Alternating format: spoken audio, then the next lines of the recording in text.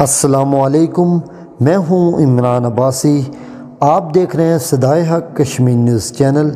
बरतानिया में corona vaccine हमला खुवान क्यों नहीं लगवा सकती? एलर्जी वाले अफराद के बाद कोरोना के इस्तेमाल पर एक और पाबंदी। इस खबर की तफसीत से कबल और खबर से बाखबर रहने के लिए हमारे चैनल को सब्सक्राइब और साथ में दिए गए बेल आइकन को ज़रूर दबाएँ।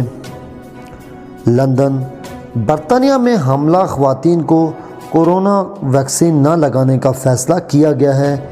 माहरीन के मुताबिक वैक्सीन से हमला खुवान को नुकसान का कोई सबूत नहीं। कोरोना वैक्सीन न देने का फ़ैसला इसलिए किया गया कि ट्रायल में हमला खुवान को शामिल नहीं किया गया था। तिबी माहरीन का कहना है कि हमला खुवान पर वैक्सीन के असरात का मुशाह नहीं किया गया। इसलिए फ़ैसला किया गया है कि इन्हें कोरोना वैक्सीन ना दी जाए।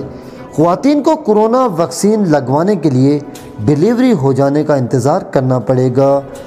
कोरोना वायरस से मुतासर होने वाले ममालिक में बरतानिया का छवा नंबर है और वहाँ सत्रह लाख सतासी हज़ार से जायद अफराद मुतासर हो चुके हैं, जबकि तिरसठ हज़ार बयासी अमवात रिपोर्ट हुई हैं।